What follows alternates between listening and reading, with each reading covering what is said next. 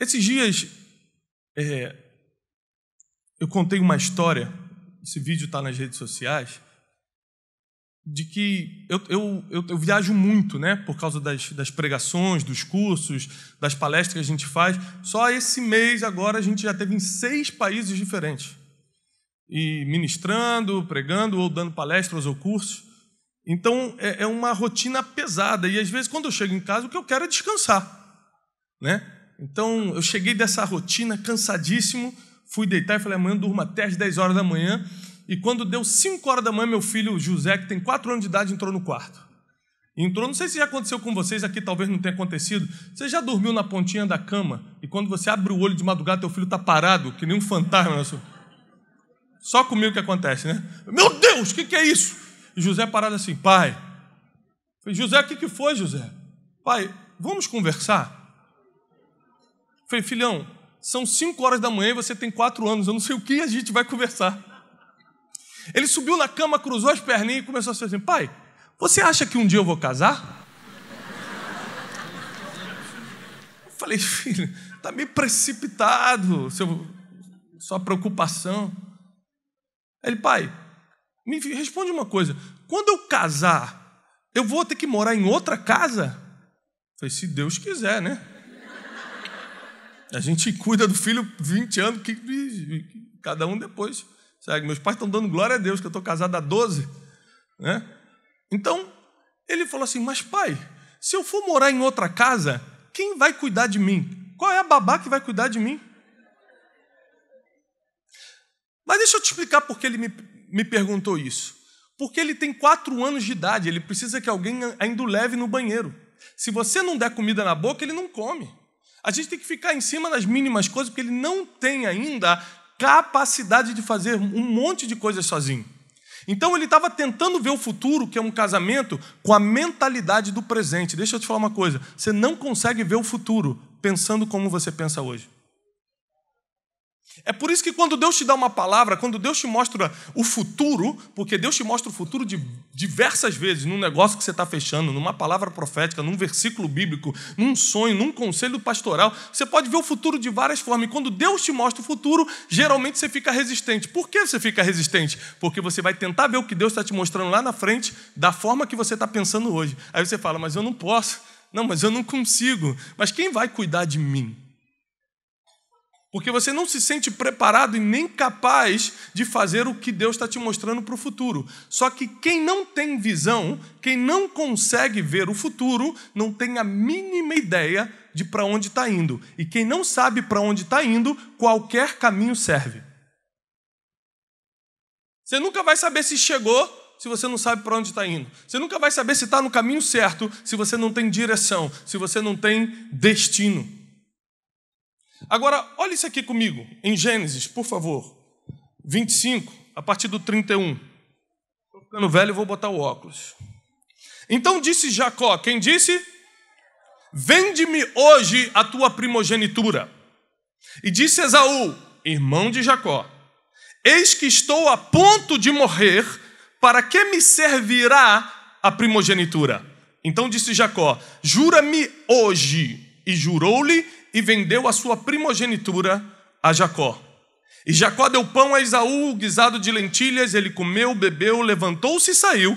Assim desprezou, repete comigo, desprezou. Esaú a sua primogenitura. Deixa eu te falar uma coisa. Um princípio que você tem que aprender é que você perde tudo aquilo que despreza. A Bíblia diz que Mical desprezou Davi em seu coração, porque ele entrou dançando na presença do Senhor com a arca. E o último versículo dessa história diz: E Mical nunca teve filhos. Golias desprezou Davi porque Davi era pequeno e ruivo e perdeu para ele. Porque você vai sempre perder o que você despreza. Então não reclame do carro que você tem hoje, você não sabe como seria o amanhã sem ele. Não reclame do marido que você tem. Pastor, mas quando eu casei com ele, ele era um galã, agora ele está um galão. Viu? Você não viu o futuro, escolheu. Mas agora, irmão, tá cheio de aplicativo bom na internet. Pelo menos no Instagram ele vai ficar bonito. Daquela emagrecida. E a gente não, a gente tem muita dificuldade de ver o futuro. E quando a gente não vê o futuro, a gente perde grandes oportunidades. Eu estava nos Estados Unidos há uns anos atrás e um amigo meu estava investindo tudo que ele tinha comprando casas na Flórida. E eu falei, rapaz, você está gastando todo o seu dinheiro comprando isso. Olha, será que vai dar certo? Eu, que me considero um cara inteligente, tentando atrapalhar a vida dos outros. Deixa eu te falar uma coisa. Pare de escutar a opinião dos outros escute conselhos. Opinião qualquer um pode dar, conselho só quem te ama ou quem é especialista no assunto. Se a pessoa não te ama e não é especialista no assunto, nem, nem escuta. Que ela sempre vai dar uma opiniãozinha qualquer, e até Facebook te dá opinião. Conselho é o que te direciona, e na multidão dos conselheiros, e não daqueles que opinam, é na multidão dos conselheiros que tem sucesso, diz a palavra. E eu estava ali dando opinião, na minha ignorância, falando, rapaz, será? E ele falou assim: Tiago, você sabe qual a diferença de quem está comprando e quem está vendendo? Falei, qual? A visão de futuro. Quem olhou o futuro já viu que os Estados Unidos vai sair dessa crise, e aí tudo que eu comprei por 50 mil eu vou vender por quanto? 300, 250, 400, não importa. Foi o que aconteceu três anos, quatro anos depois. Ele ficou rico, virou um grande investidor, porque ele viu o futuro e eu não. Essa história é a mesma de Jacó e Esaú. Jacó chega para Esaú e fala assim: Me vende a sua primogenitura. Um queria comprar e o outro queria vender. Você compra ou vende de acordo com a tua visão. E Jacó falou: Você me vende a tua primogenitura? Por quê? Jacó, desde pequeno, lutava por uma bênção. Ele foi o único homem na Bíblia que lutou com Deus e prevaleceu, diz a palavra. Ele lutou com um anjo e ganhou. Porque ele sabia que, como irmão mais novo, ele não tinha acesso total à bênção, porque a bênção estava com o primogênito.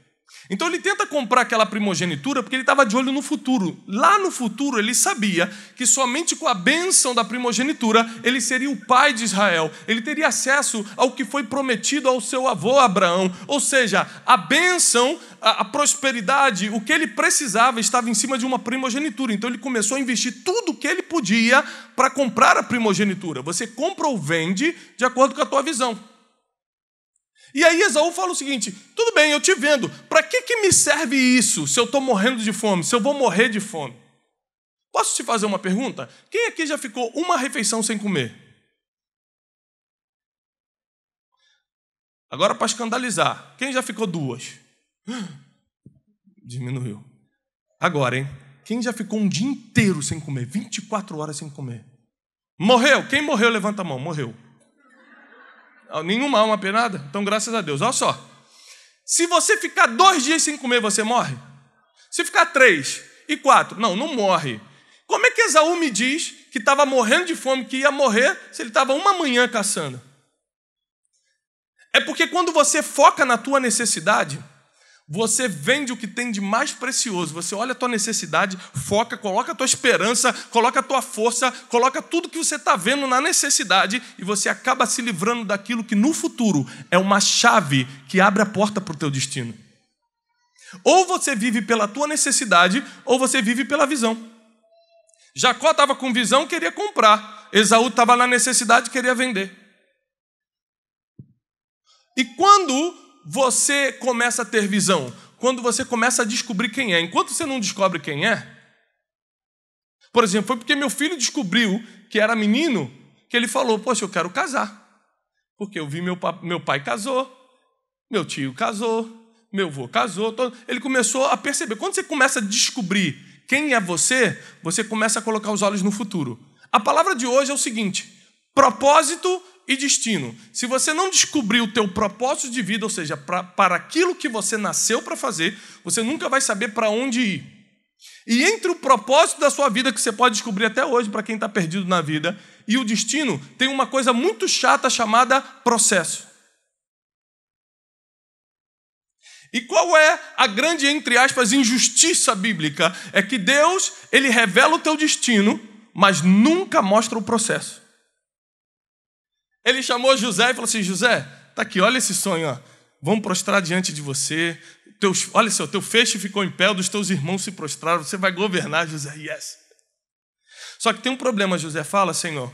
É, os seus irmãos de sangue vão te vender, vão te jogar numa cova. Aí você vai para o Egito.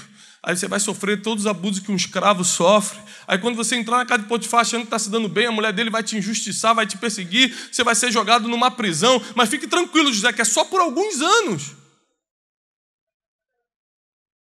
Quem aceitaria o destino se o processo fosse revelado? Ninguém.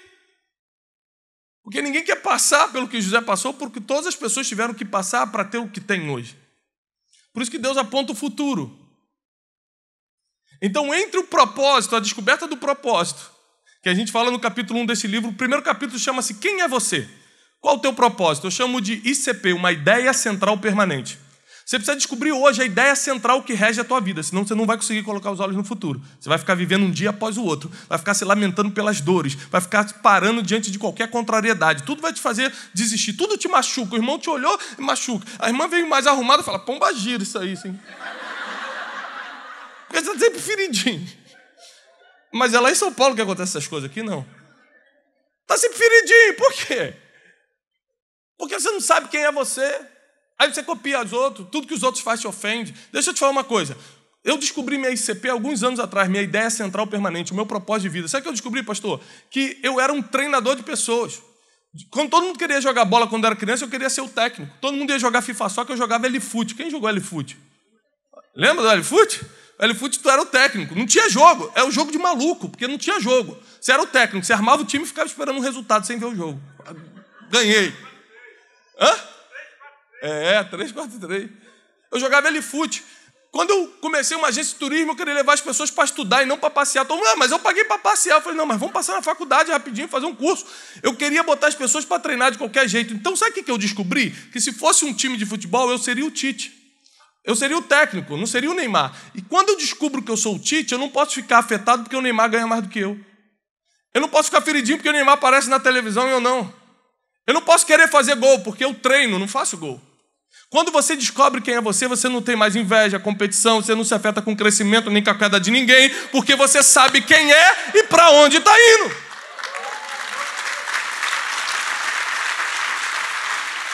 Uma pessoa que não descobre a ideia central que rege a sua vida, ela não consegue decidir quem anda com ela. É muito fácil decidir os contratos que eu assino e os que eu não assino. Hoje eu estou numa fase da minha vida que não para de chegar contrato para assinar é de editora, é não sei o quê. Nosso livro foi publicado em 32 países, em idiomas diferentes. E aí, não para de chegar contrato. Como é que eu seleciono o contrato que eu assino que eu não assino? Como é que eu seleciono a pessoa que anda comigo e que não anda? Que se conecta, que tem algum tipo de networking comigo ou não?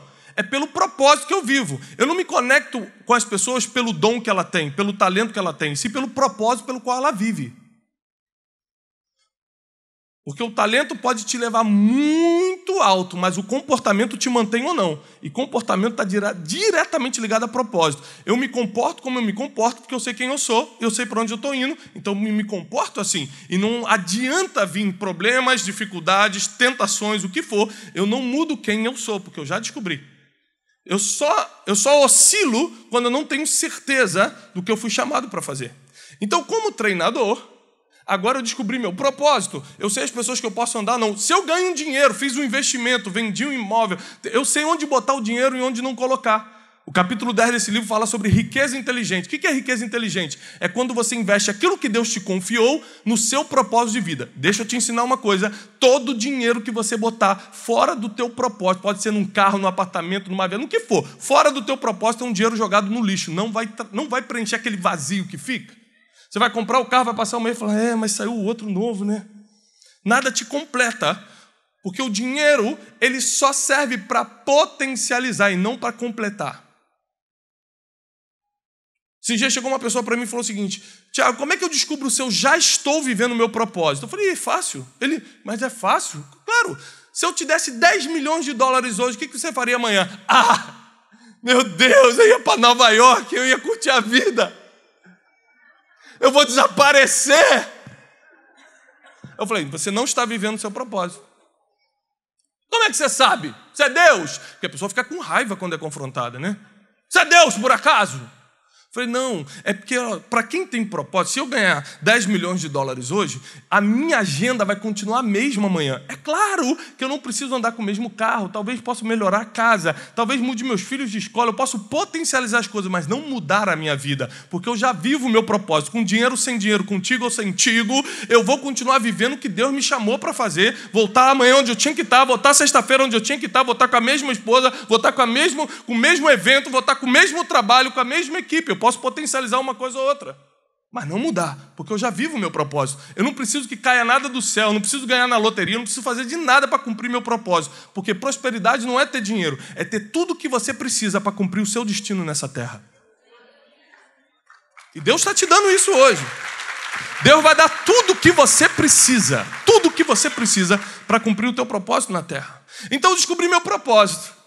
Aí, quando eu descubro minha ideia central permanente, eu começo a colocar os olhos no futuro. Eu sou um treinador de pessoas, então eu quero ter uma universidade, eu quero ter um instituto, eu quero fazer isso. Eu começo a pensar um monte de coisa, mas entre o propósito que está aqui e o destino que está aqui, tem o um processo. O processo trabalha com tempos. Repete comigo: tempos. Se tem uma coisa difícil de se lidar nessa vida, é com o tempo certo. Uma coisa grave isso, uma coisa poderosa fora do tempo se torna uma coisa perigosa. Veja comigo a história de Jesus.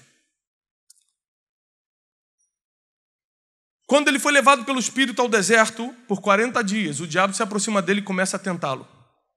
Uma das tentações ele leva a Jesus num alto monte, mostra os reinos do mundo, as nações do mundo, e fala o seguinte: Tudo isso te darei se prostrado me adorares. Que, que ele ia dar? As nações do mundo. Deixa eu fazer uma pergunta para você que é inteligente: Quem é o rei das nações? Muito bem, a escola dominical está funcionando. Jesus. Ele comprou para si toda a língua, tribo e nação. É dele. Onde é que ele comprou isso? Muito bem, minha irmã, na cruz. Acertou. Jesus comprou as nações aonde? Na cruz. Fica com medo de falar, não, foi na cruz mesmo. Está traumatizado que não passou no Enem e vai devagar, né? Foi na cruz. Agora, quanto tempo faltava do deserto para a cruz? Três anos. O que, que o diabo fez? Quando ele vê uma movimentação espiritual na sua vida, vê que Deus está te usando, vê que as coisas estão acontecendo, ele começa a tentar atrasar você. Aí bota problema, contrariedade, perdas, frustrações. O que, que são frustrações? Expectativas não atendidas. Você estava esperando, não acontece. Coloca dores. E as dores são inevitáveis, você vai ter que aprender a lidar com elas. Elas chegam sim ou sim, mas a dor é inevitável, o sofrimento é opcional. Você decide se vai sofrer ou não. Tem gente que usa a dor para crescer. Tem gente que usa a dor para sofrer. Mas isso tudo vem sobre a tua vida e você fica completamente perdido. Elas vão chegando, as dificuldades, você não sabe o que fazer, você não sabe para onde está indo, você não sabe quem é. Então tudo te derruba, tudo te desanima, qualquer pessoa te ofende. Você vê uma, uma frase no Facebook e acha que é indireto foi para você, fica dois dias sem falar com a pessoa. Foi para você essa, meu irmão? Foi ali para a irmã. Ela... Porque essa é a grande dificuldade quando você não sabe quem é, quando você não sabe para onde está indo, quando você não sabe viver o processo. E aí Jesus, presta atenção, Jesus, ele comprou para si a, a toda a tribo, língua e nação na cruz. Faltavam três anos para a cruz. Quando o diabo não consegue te atrasar com os problemas, com as dificuldades, ele vê que não vai ter jeito contra você, ele para de tentar te atrasar e começa a adiantar as coisas. Porque ele só quer que você faça as coisas fora do tempo. Não importa se são coisas boas ou ruins. Se for fora do tempo, vai dar errado. Então ele fala: qual é o propósito mesmo? É comprar as nações. Pega as nações e entrega antes. Quantas coisas vêm antes do tempo e a gente pega? A Bíblia diz: a herança tomada antes do tempo vem a ser maldição. Provérbios. Tudo que você pega antes do tempo, fora do tempo, é maldição. E qual o problema do processo? É que no processo você tem muitos atalhos. No processo você quer aquele escape. Quando você está passando pelos processos da vida, o melhor processo que existe, o melhor treinamento que existe é a tua rotina. Davi foi treinado na sua rotina, cuidando de ovelhas. Jesus foi treinado na carpintaria em Nazaré. Os grandes homens e mulheres foram treinados na rotina. Você não precisa sair daqui para ser treinado na escola fantástica espiritual mundial para ser alguém, porque na sua rotina você já tem sido treinado. Deus já está vendo quem é você e quem não é você o que você faz e o que você não faz. O que as pessoas sabem de você é apenas a sua reputação. Mas o que importa mesmo para Deus é a integridade. é aquilo que você faz quando ninguém está te olhando. E essa é a grande diferença. Reputação é o que pensam de você, integridade é o que você faz quando ninguém está te olhando. E aí, nesse processo, a tua integridade é testada, a tua paciência é testada. Quando você pede paciência a Deus, você acha que Deus vai estalar o dedo e te dar paciência ou vai te dar várias oportunidades contrárias para você ter paciência? Bota a sogra para se mudar para tua casa, já começa assim. Já começa a pegar pesado. É, aí. Pegou. Nem sabia a tua história, viu? Não sou nem profeta e acertei. Porque tem o seguinte, o inimigo, ele, ele, como, ele é acusador porque ele só te vê no passado, né? Por isso que ele é acusador. Ele sabe onde você pode cair, onde não pode, qual é a tua fraqueza. E o, o diabo ele tem vários nomes, né? Ele chama de diabo, satanás, vermelhinho, chifrudinho, beuzebu, flamenguista, ele tem vários nomes. Dizem, dizem. o pastor é flamenguista, muda. É vascaíno, pastor. É, vascaíno. É palmeirense, por lá de São Paulo, para não dar problema. não, não, tá brincando. O diabo é botafoguense. Porque ninguém é botafogo, ninguém reclama. então toda a estratégia dele é a mesma. Ele vê onde você caiu no passado e fica tentando dar reincidência. O processo é difícil por causa disso, mas no processo você adquire algo que somente a sabedoria pode te dar, maturidade.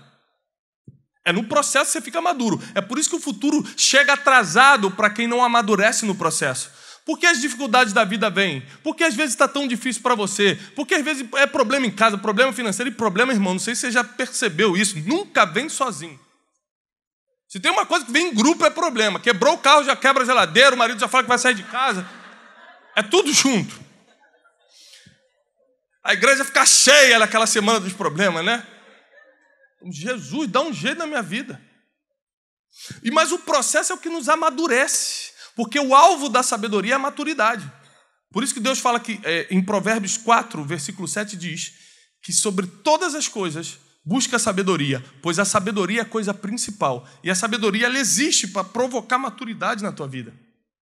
Para você saber quando calar a boca e quando falar. Para você não agir debaixo de impulsos emocionais. Quem não governa a si mesmo não pode governar mais nada. Quando você está nervoso, a maioria das suas decisões é quando você está emocionado. Seja feliz, estou feliz, vou lá no barra shop, estouro o cartão de crédito, depois fala, diabo, você me enganou. Diabo tem nada a ver com isso, você foi lá e gastou. Ou quando você está triste, você vai e toma decisões precipitadas, você erra. Deixa eu te ensinar uma coisa: emoções são passageiras, decisões são permanentes. Debaixo de uma emoção que vai durar três minutos, você toma uma decisão que muda todo o seu destino. Qual o problema do processo? Que é no processo que você toma decisões e as decisões mudam o seu destino. O seu destino não é traçado pelas orações de domingo, é pelas decisões de segunda-feira. Porque aquilo que você recebeu no domingo, chega a segunda, você faz uma coisa que cancela tudo que você recebeu. Aí você está caminhando agora rumo ao futuro. Primeiro descobre o propósito, ICP, a sua ideia central permanente. Você vai entender melhor isso no livro. Esse livro, a gente viajou mais de 40 países, eu entrevistei mais de 100 líderes mundiais para chegar às conclusões desses 12 capítulos. Tem nada de místico em 12 dias. É 12 dias porque são 12 capítulos. Se fosse 8 capítulos, seriam 8 dias. Você vai ler um por dia, apesar que é, o livro foi lançado recentemente, já já já está esgotado na Saraiva, um monte de lugar, e os testemunhos que a gente recebe é que as pessoas estão lendo em três, quatro dias. Gente que nunca leu o livro está lendo em três, quatro dias, o que era para ler em doze. Porque, graças a Deus, as pessoas estão descobrindo o seu propósito e vão avançando nos capítulos. E aí, quando você descobre o seu propósito, você entra no processo antes do futuro. E antes do futuro chegar, você vai precisar do terceiro ponto, que é, que é um mentor. O que é um mentor? Um GPS. Hoje eu não liguei o GPS, eu vim de São Paulo para cá de carro. E eu não liguei o GPS, porque eu falei assim: já conheço a Dutra. É só pegar o retão e. tranquilo. O que, que aconteceu? Antes de uma das saídas ali em Barra do Piraí, tinha um acidente. Se eu soubesse, tinha saído uma saída antes, ido por dentro. Mas eu falei: eu conheço, eu mando. Conheço tudo, sou carioca. Isso aqui eu domino. Dutra, Rio, é comigo. Não liguei o GPS, fiquei duas, três horas parado no trânsito. E aí eu pedi perdão a falei, Deus, perdoa, porque às vezes eu acho que sei não sei nada. Se eu tivesse consultado o GPS, iria me mostrar que teria um acidente. Mas tem misericórdia de mim, manda alguém. Quando eu falei, manda alguém para um carro do meu lado, eu falei, ei, tá perdido?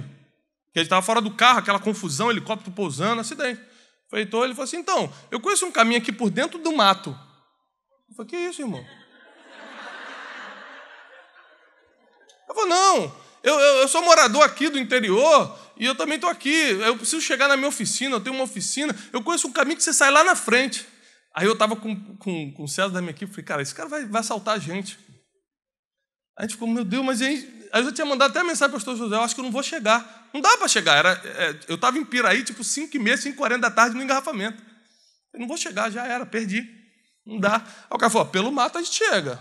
Eu falei, eu falei irmão, para com esse negócio de mato. A sessão de descarrego, varão. E aí ele falou assim: olha, é cinco minutos. Aí eu falei, eu orei para Deus mandar um guia, um GPS. Aí botei dentro do carro. Mas pensa no, um homem que orou. Falei, Jesus, não deixa esse homem matar, não. Ele foi por trás. E ele ia falando perto, falei, varão, sai do pescoço, fica mais para trás aqui. Ele falou, vira, vira aqui por trás. Falei, sem cuspir, fica encostado. Irmãos, em cinco minutos, a gente passou por dentro de um mato, passou por uma estrada de terra, saímos lá do outro lado cortamos o engarrafamento. Deve estar até agora tudo parado lá na Dutra, eu já estou aqui.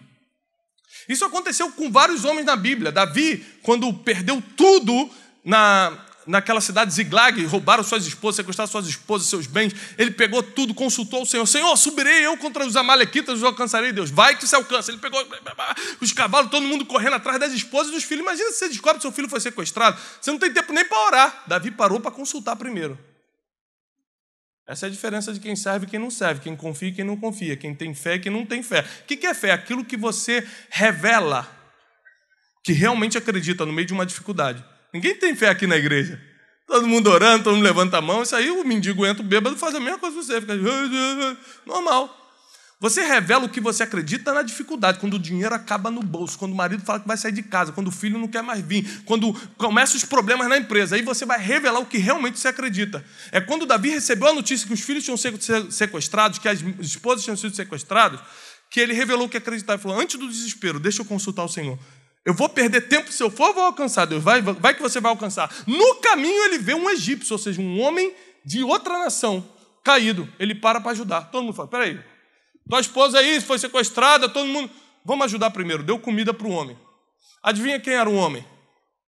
O cara que estava no ataque contra, os, é, contra Ziglag. Falou assim: Você sabe onde é que eles estão? Sei. E ali Davi, porque parou para exercer misericórdia, ganhou um GPS. Esses dias eu estava saindo de casa para ir para Guarulhos, tem que pegar marginal para pegar o avião. E aí eu olhei a marginal, marginal tranquila. Eu falei assim, vou pelo meio, pista do meio, dá para ir a 90 agora, né? Falei, vou pela pista do meio. Só que o GPS estava ligado, o GPS falou assim, pegue a pista da direita. GPS maluco, a do meio vai em 90 por hora, peguei do meio e fui. Quando eu peguei a primeira curva da marginal, um engarrafamento astronômico, a pista da direita. Aí o GPS, não te falei? É demônio. Sabe por quê? O GPS já viu o que você não viu, já viu os problemas que estão pela frente. O GPS ele te mostra destino e tempo. Olha só, em 800 metros, vire à esquerda. Se você virar à esquerda em 200, vai dar errado. Ele te dá tempo e destino. O que é um mentor? Alguém que já chegou onde você ainda vai chegar. Alguém que conhece o tempo e o caminho até o destino. E eu pago um preço para ter mentores, pastor Cachiluna, outros que, que eu tenho o privilégio de ter me mentoreando, doutor Augusto Cury. Foi meu orientador de tese, prefaciou meu primeiro livro. Você acha como é que é para chegar num homem desse? Como é que é para ter um homem desse como mentor, como orientador? Não é fácil, sabe por quê? Sabe o que eu descobri? Os mentores não comem onde você come, não moram onde você mora, não vivem como você vive. Eles têm outra vida. Você vai ter que largar o que você está fazendo e correr atrás deles. Quantas vezes eu liguei para a secretária e falei assim: onde é que ele vai estar sexta-feira? Ele vai estar num voo para o Texas. Qual voo? Ah, eu pegava, pegava o mesmo voo, não tinha nada para fazer em Dallas. Só para ir do lado, ganhava 10 horas de mentoria grátis. Ficava, mas como é que o senhor faz isso? Como é que você faz aquilo? Aí esses gente me perguntaram, rapaz, você anda com tanta gente importante, como é que você nunca vejo uma selfie no seu Instagram? Falei, é porque quem tem propósito gasta tempo fazendo pergunta e não tirando selfie.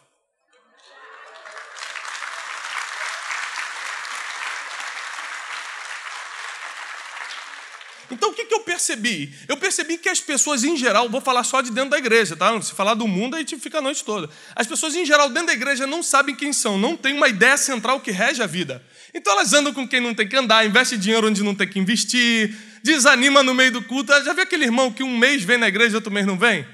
Um mês dá o dízimo, outro mês ele fica, será que é de Deus dar dízimo? Essa crise dá três, quatro vezes por ano, né? Será? Mostra biblicamente de novo. Agora, a parte da benção não precisa mostrar biblicamente, não, é de Deus.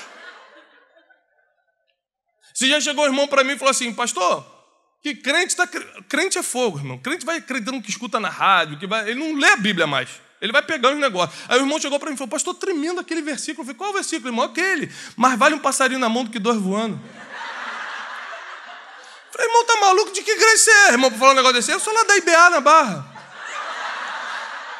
Eu falei: Ei, rapaz, tem que ligar para o pastor José para dar uma reforçada nessa escola dominical.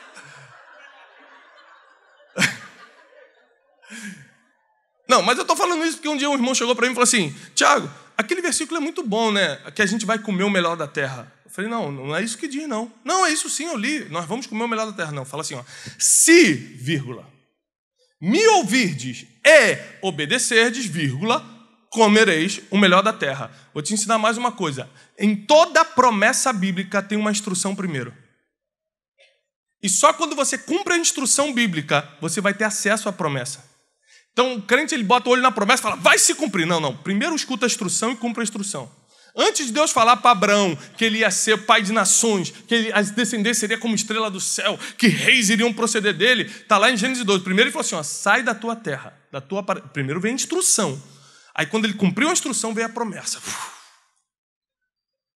E essa instrução, ela vem quando você está no processo, entre o propósito e o destino. A promessa é quando você está alcançando a parada final, o destino. Aí Deus abre as portas, as coisas começam a acontecer. E agora que você chegou aqui, você começa a usar o que Deus te deu para ajudar outros. Deixa eu te falar uma coisa: muita coisa você não recebeu, porque o que você está pedindo, o que você está sonhando tem a ver contigo mesmo. Deus não trabalha com individualidade, ele trabalha com gerações. Se a bênção que você está pedindo para Deus te dar, se o teu milagre chegar hoje, vai abençoar muita gente, ele te dá hoje mesmo. Se é só para você, você está na fila, porque tem muita gente pedindo só para você, só para a pessoa mesmo.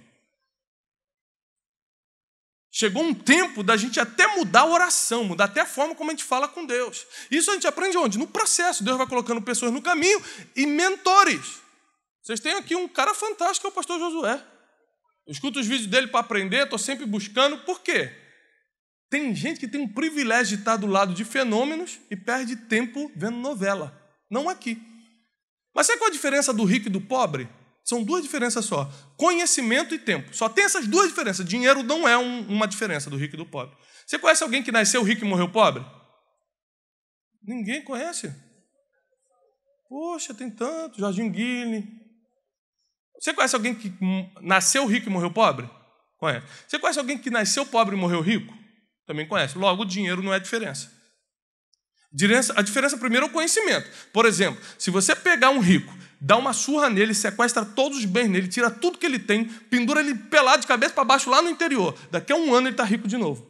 Porque o dinheiro não estava no bolso, está aqui. Ele sabe que fornecedor procurar, onde vai procurar os recursos, como vai fazer, o melhor produto para levantar rápido. A riqueza está aqui. Ó. Agora pega um milhão, dá para o pobre e bota para ele morar aqui na praia. Um ano depois ele está Está miserável, irmão. Está mais do que pobre. Porque ele vai gastar tudo, vai destruir o apartamento e vai fazer dívida que não vai poder pagar no futuro. Porque não é o dinheiro no bolso, é a mentalidade. E outra coisa, outra diferença é o tempo. Porque a nova Lamborghini, quem já viu que saiu a nova Lamborghini? Inclusive eu estou aberto para oferta. A nova Lamborghini saiu e não passou um comercial na televisão. Por quê? Porque quem compra Lamborghini não tem tempo para ver televisão. Agora o que você vê na televisão? Casas Bahia, 86 parcelas, compra isso aqui. Opa, que maravilha esse comercial!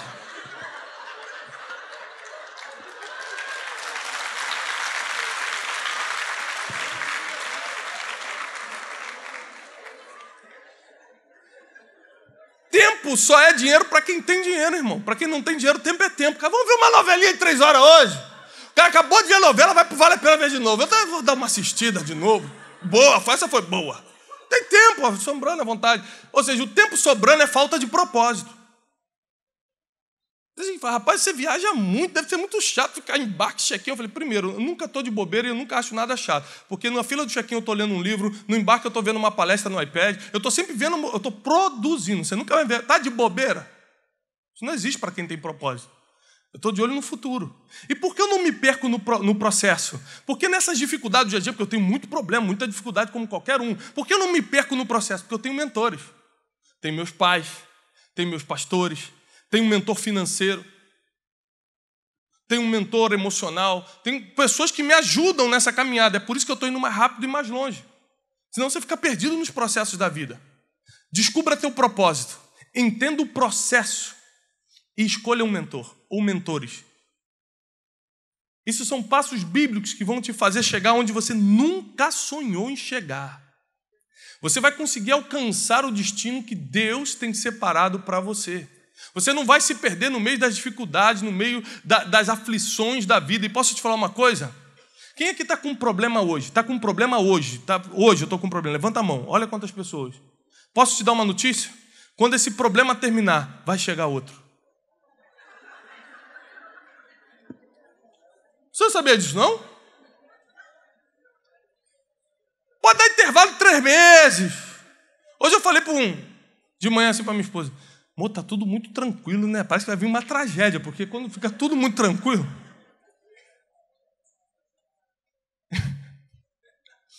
quando tá tudo muito bom, você fala, será que vai cair alguma coisa na minha cabeça?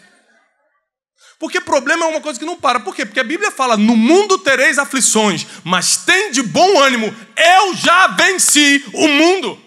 Ele já venceu o que você ainda vai passar, o que você ainda vai lutar.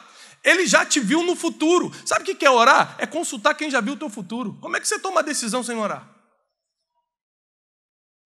Ele já te viu no futuro, pergunta para ele o próximo passo. Tem três pessoas que estão sempre olhando para você. O diabo, que é um acusador, porque só te vê no passado, essa limitação dele. Então, por isso que quando ele te fala, ele fala, vai ladrão, prostituta, adúltero, mentiroso, porque ele só te vê no passado. Segunda pessoa, o ser humano. O ser humano não, não, não tem memória fraca para o passado e não consegue ver o futuro. Então, o ser humano só te olha no presente. Aí ele olha a roupa que você chega, o carro que você está. Só Deus vê o coração, o ser humano vê o que está diante dos seus olhos. Mas tem uma pessoa que já está aqui nessa noite, que é o único que te enxerga no futuro. E porque ele já viu o teu futuro, você está de pé até hoje. Porque ele já viu quem você vai ser daqui a um ano, dois anos, é que ele sustentou tua casa, tua família, tua empresa, teus negócios, teu ministério até hoje. É porque ele já sabe quem você vai se tornar. Por isso que ele te segurou até aqui hoje. Por isso que ele, a misericórdia dele te alcançou. Então eu quero te animar a você entrar num processo de crescimento. Deus te colocou num lugar de honra, num lugar de excelência, num lugar que você recebe palavras de vida. Não tem mais desculpa. A pior coisa que você pode dar para Deus é uma desculpa. Chega de coitadismo, coitadismo vitimismo. Que foi comigo que meu pai me abandonou. Todo mundo tem uma história triste para contar. Se eu der um microfone, cada um vai contar uma história triste, cada um vai chorar aqui. Você está contando uma história triste, tem um irmão do teu lado que está sofrendo dez vezes mais, você não sabe. A pior coisa que você pode dar para Deus é uma desculpa. Todo homem que deu uma desculpa para Deus foi expulso da presença dele. Adão, ah, foi a mulher que tu me deste, então sai. Saul, por que você sacrificou antes do tempo? Não, foi eu não, que o povo é que Samuel demorou. Hoje eu teria te confirmado sobre o trono, mas me dá ele aqui.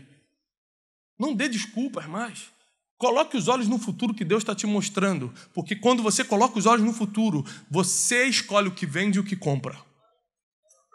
E tem muitas coisas que estão nas suas mãos hoje, são preciosas, mas por causa da necessidade, o processo né, gera várias necessidades, você acaba vendendo. E aquilo que você vende era a chave que virava a porta do futuro. Não venda o que Deus te deu. Não negocie o que Deus depositou em você. Pague o preço para encontrar mentores. Desvende o teu propósito. Nós escrevemos esse livro, demorei 24 meses para escrever esse livro. Justamente porque eu comecei a numerar os problemas do ser humano, como nós estamos nos perdendo, como, como a gente está seguindo a vida como quer. Escuta uma palavra que no domingo, na segunda, está fazendo diferente. Mas por quê? Porque não tem propósito. A empresa não vai para frente, o casamento não anda, não tem mentores. Eu tenho um problema como qualquer um de vocês, só que eu tenho gente para ligar. Você liga para quem? Fala assim, ah, pastor, mas é, você é diferente. Não sou diferente, não. Já quebrei como muita gente aqui quebrou, já tive dificuldade no casamento como muitos já teve. Tudo que você imaginar de problema eu já tive, irmão. O que diferencia quem serve e quem não serve a Deus não é o problema que você teve, mas como você reage depois que o problema chega.